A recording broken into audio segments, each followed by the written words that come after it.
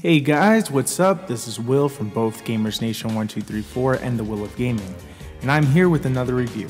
This time it's the surprising, mature Platinum Games title Bayonetta 2. Sorry this took so long, by the way. In a surprising twist by Nintendo, yes, Nintendo, the company that gave you Mario, Zelda, and Kirby, have bought what was originally a multi platform title and decided to take a huge risk and make Bayonetta 2 exclusive for the Wii U. Of course, legions of fans that didn't want to buy a Nintendo console wanted a sequel to be released on other platinums so they can play it, but it never happened. And the sexy Umbrian Witch, Bayonetta, remained an exclusive to Nintendo. Is it other companies' loss and Nintendo's gain? Or is it the biggest mistake ever? Find out on this review by The Will of Gaming.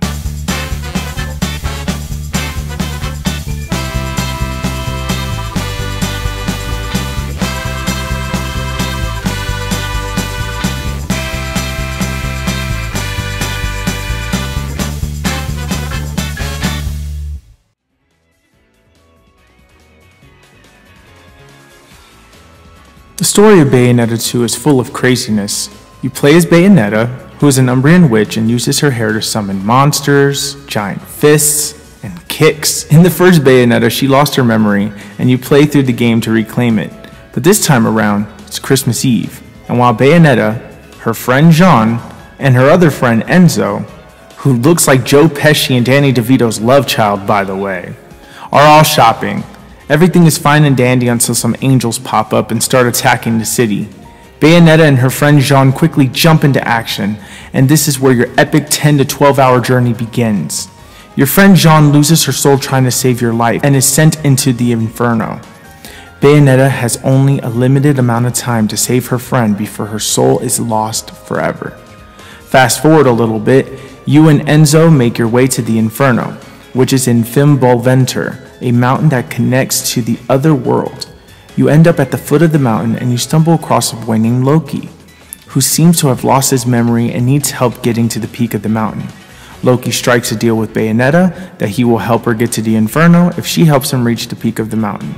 Loki isn't very popular since everybody and everything wants to kill him, which is why you have to go from chapter to chapter fighting many enemies.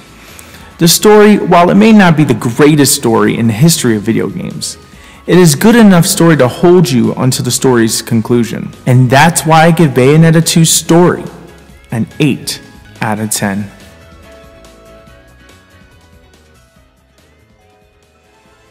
Bayonetta 2's gameplay is extremely fast paced and feels really good. witch time is back and feels satisfying every time you trigger it. Dodging an enemy's attack at the last second triggers Witch time, and you slow down time and combo your opponents to death. Bayonetta also uses a technique called Umbrian Climax, which increases her strength temporarily.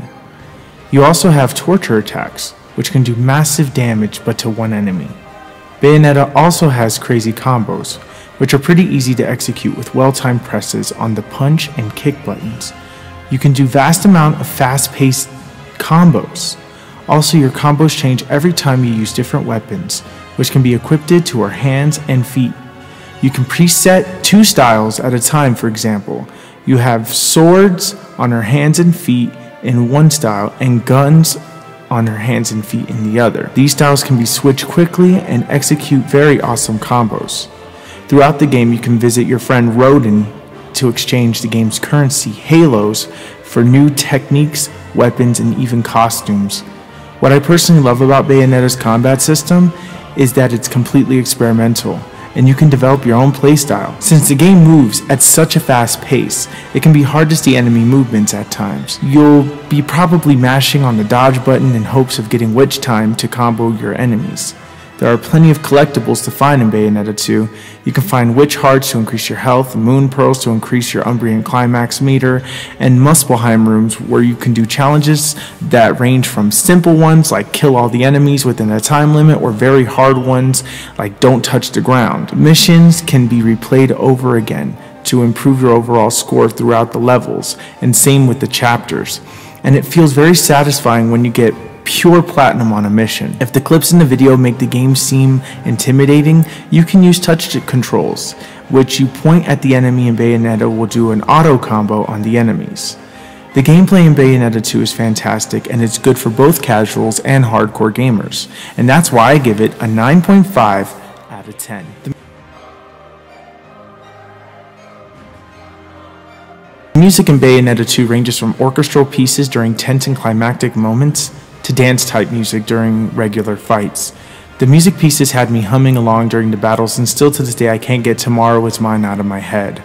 Your music taste may differ from mine, but the music in this game sets up this game's tone nicely, and is definitely is great for a game like this. The voice acting in this game is good, but some characters are more memorable than others, but everyone does their job right. Bayonetta is always toying with her enemies, Loki is always in trouble, and Enzo curses all the time. The dialogue is good, but it isn't memorable, so don't expect a lot of people to be quoting this game.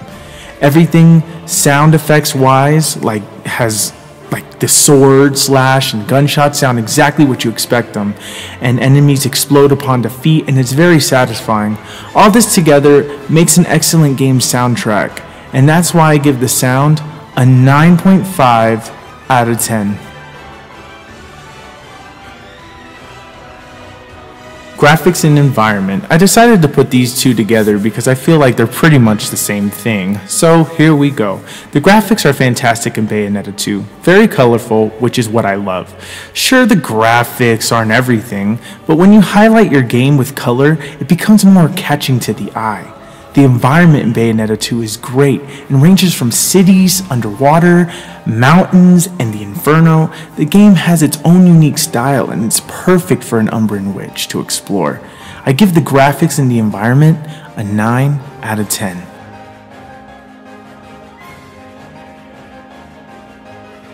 Yes, Bayonetta 2 has multiplayer. Tag Climax is a co op mode that can be played both locally and online.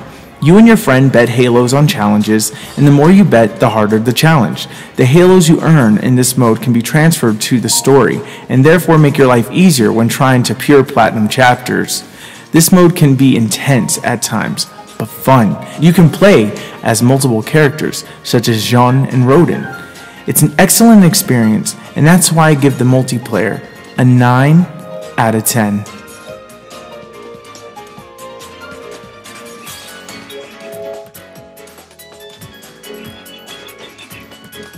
So, in conclusion, Bayonetta 2 has a good story, lots of action, dynamic landscapes, experimental combo mechanics, and great music. Plus, you get Bayonetta 1 as a bonus when you purchase this game. Bayonetta 2 is definitely one of the greatest games I've played this year, and I feel I feel deep in my gut that if you do have a Wii U already and you purchase this that you will have a good time. I feel it in my gut but this is just strictly my opinion. Your version of it may be completely different. Thank you guys for watching this episode. That's why I'm giving Bayonetta a 9 out of 10. Thank you guys for watching, and if you guys want to see more, you can subscribe to the channel, The Will of Gaming, and if you guys are even interested in hearing other gamers talk about games and gaming news and everything, be sure to follow Gamers Nation 1234 for more information and subscribe, like, give us every, I mean, share us, show us love. All right. Thank you guys. Bye bye.